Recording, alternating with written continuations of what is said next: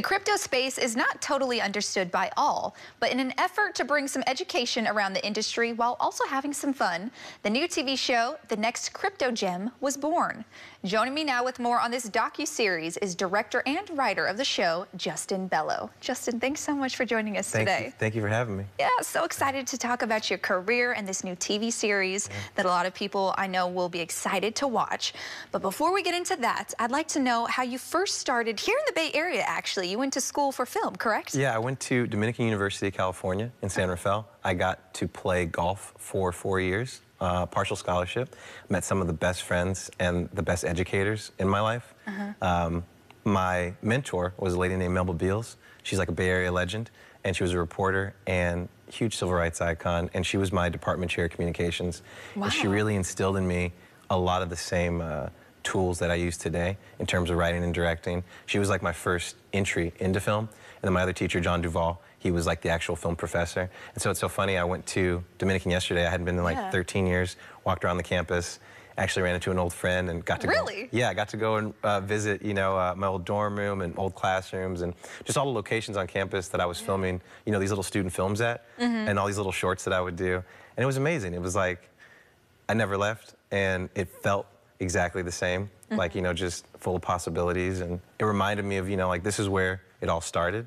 Um, so it's just amazing to be back. That's incredible. Yeah. It's kind of like a full circle moment, a coming home to yeah. the Bay Area. It's nuts. I haven't been I haven't been to the Bay probably in you know three or four years, and I hadn't been on campus in a really long time. Yeah. Um, so it was really interesting. We're walking down the hallway of where I took sales and marketing classes, and the tack board of where I saw the flyer to go and learn about the art of film and video is literally wow. still there. Oh my gosh. So it was a trip. It was like reliving all these moments that I had back then, you know, yesterday. Oh gosh. It was a trip. Like I couldn't believe like the same places, the same things. Doing the same things, right? Doing the same things, like walking down the hallway, distinctly remember being there, seeing mm -hmm. that, and then going to that class, and that was it. Because when I got to college, I really didn't know what I wanted to do. Mm -hmm. I mm-hmm. loved golf, I loved playing, I loved competing. I played sports my whole life. But after the first semester freshman year, I knew I didn't want to pursue it, you know, all the way. I wanted to, to do something else, or at least try to do something else. And I knew I didn't want to be, you know, stuck in like a cubicle somewhere all day, but yeah. uh, I, I went and saw that flyer, I went to the class, and then after that first day, they stuck a camera in our hands. They said, go tell us a story. And I was hooked. It was like 45 minutes of walking around campus, bothering all my friends to be in this little clip or whatever. Yeah. And um, I knew I didn't want to do anything else. I told my guidance counselor I'm switching to film, and that was it. That's amazing. Yeah. So like you said, that was 13 years ago, and yeah. now here you are.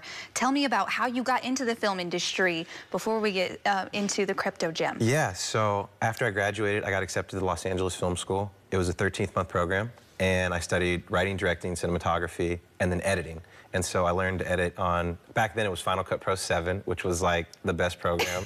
and then uh, I, I remember Final Cut. You remember Final Cut? like do. it was, it was the movie because I think like whatever that year was, like I want to say like 2010, like everybody was using it in mm -hmm. comparison to, um, you know, Avid. That's yeah. like the industry standard. Yeah. And then Premiere came out. And so I really got to hone my editing skills and more of the cinematography aspect.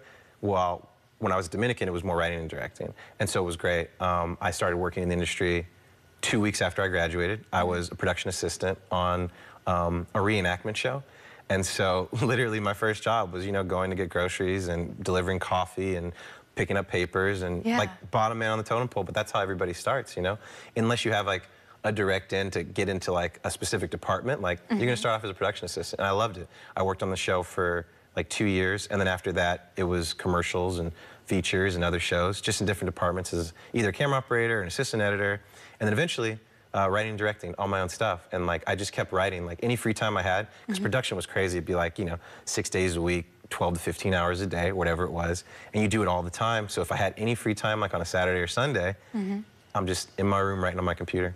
Wow, and it, it seems like the hard work really did pay off mm-hmm. because mm -hmm. now we're sitting here talking about the next crypto gem. Yeah. Can you tell me about this piece? What makes you excited about it? The thing that I'm most excited about is the fact that people can finally get educated on what cryptocurrency is. Mm -hmm. I think there's a lot of negative feeling towards the industry as a whole because a lot of people don't understand it. And so the first thing that we wanted to do with the show was number one, educate. What is cryptocurrency? What is the blockchain? What do these coins do? Why is it valuable? And I think once enough people learn about the industry, they'll be a little bit more inclined to want to take part in it. Because I think you know, most of the news you hear about crypto, it's always the negative side of it or the people that took advantage of a specific area, mm-hmm. right? Yeah. And like that's highlighted and it's amplified to so many different places all the time. It kind of gets lost in the shuffle about all the benefits that you can have of it. And I really didn't know a lot about crypto when I first, you know, got hired for the for the job, but throughout the process of meeting the judges that we have on the show, which are like some of the top minds in the space, and then a lot of the contestants and just the entire production team, like the people Yeah. behind the scenes that were really honing in on why we need to talk about certain aspects 1st Mm-hmm. And you'll see it in the episodes. It's like we wanted to highlight the building blocks of what the space is before telling you about all the projects that we're going to offer. Oh, amazing. So it kind of breaks everything down in that aspect. And I know you said education is really the big driving force Mm-hmm. behind this, but what else can people expect when they tune in? They can expect to have a lot of fun. I mean, you know, our contestants are really good people. They uh, they have a lot of energy and passion for their projects and the space as a whole. And that was the other thing. It was like being on set with the judges and the contestants.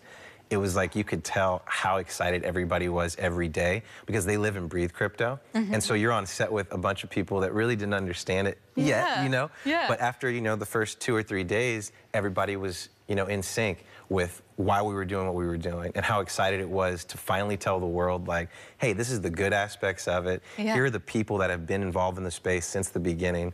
And I'm really excited for people to check it out. Our challenges are a lot of fun. Mm-hmm. Um, and uh, it's a good time. Like every every episode. I see it. I see the passion on your face. I yeah love it. It's making me excited. it's it's like you know they, they compete in different you know competitions and Yeah. then um, depending on how well they do that'll determine if they make it to uh, you know the next round Yeah. and so um, we have some really amazing amazing uh, sharks that would be the investors and so you know one of our biggest influences obviously Shark Tank and uh, The Apprentice like you know from back Oh, yeah, that's- from way back yeah. when um, just because you have different teams competing in exercises that they're not comfortable with. So it's like you have these people that know a- lot about the crypto space, but then all the challenges we're making them do, like they're not accustomed to it. Yeah. You know, they don't they don't necessarily know how to make a video or to do certain things um, to to market their project or to talk about it. So it's a lot of fun watching them figure out how to tackle another, you know, Yeah. subject matter, right, while still promoting themselves. oh my gosh. Well, it sounds amazing. And really quickly, before I let you go, when is it launching? When can people expect to see it? Yes, so the show comes out on September 7th on DirecTV, and then it'll also be available on Bespoke TV. Um, Michael Dutcher is the creator of the show and the executive producer, and so his company Bespoke, the ones that created it, and so you can watch it there. And then we'll also be available on different platforms uh, through Samsung, as well as Roku and uh, Fire Stick. Amazing. Justin, thank you so much for joining us today. I really appreciate it and talking about the next crypto gem. Thank you for having me. Of course.